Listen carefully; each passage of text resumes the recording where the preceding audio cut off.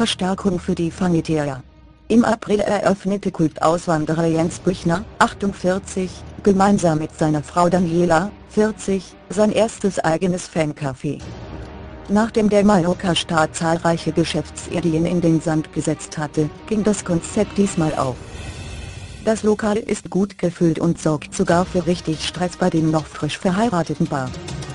Doch ihre Crew bekommt nun heiß begehrte Unterstützung, denn Danielas Tochter Jürina wird sie ab sofort ganz offiziell unterstützen. B.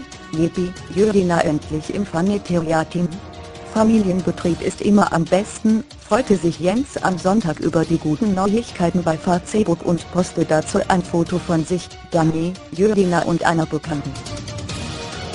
Schon zuvor hatte die älteste der fünf Kids den Neugastronomen unter die Arme gegriffen, vor allem zu Hause mit den jüngeren Geschwistern.